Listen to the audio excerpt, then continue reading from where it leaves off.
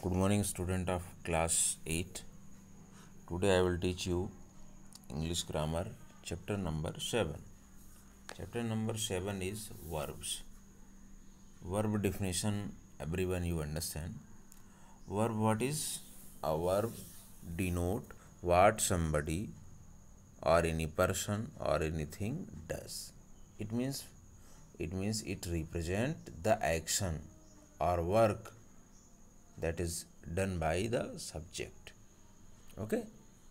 So here you can understand the verb verb comes from the latin verbum which simply means word.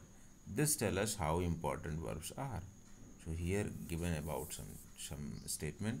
Now first point here verbs can tell us what a person or thing does. What i had told it means it's it uh, denotes or tells what any person or anything it means what someone somebody does. Here check birds are chattering. Birds what they are doing? They are chattering. What i am doing? I am just teaching you. So what teaching? It's verb children playing suppose that children are playing. So what play?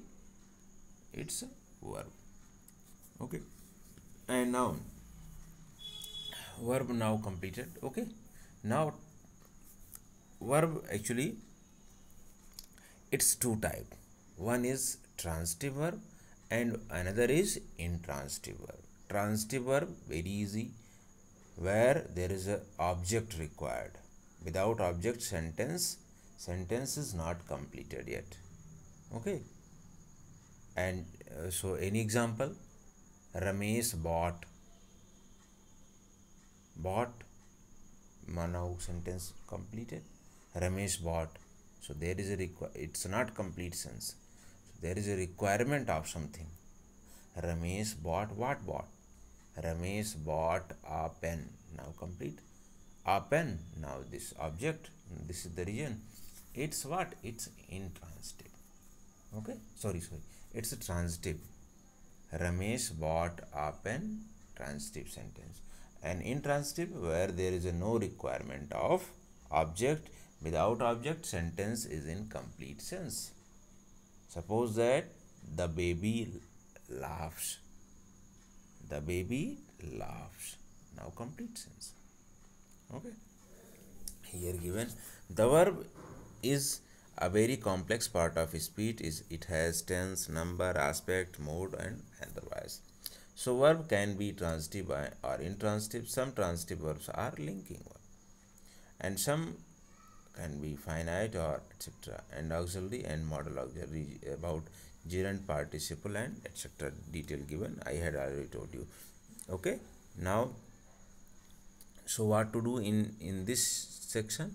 You have to write down verbs, definition of verb, transitive and intransitive okay transitive verb intransitive verb definition and one one example you have to do. And on the next page there is exercise related to verbs. There are actually 15 maybe more more than 15 sentence are there but i think words are more maybe 20 i think. But there are some words which meaning just very similar means very exactly same like so you have to check what is the exact meaning of it then use it in sentences. Okay 15 verb 15 required. Here are two gaps so two required 15 116 okay so check it today. You have to do it.